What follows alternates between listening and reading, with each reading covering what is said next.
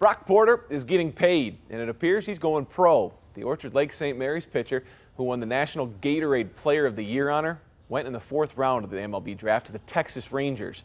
The New York Post reports Porter is getting just under $4 million to turn pro and sign with the Rangers. He was widely viewed as the best high school pitcher in the entire class. Baseball's draft is all about money. The Rangers picked Kumar Rocker third overall under slot. So they had money to use later, and they used it on Porter. Baseball America had the St. Mary's ace ranked number seven overall. He threw five no hitters in his senior season.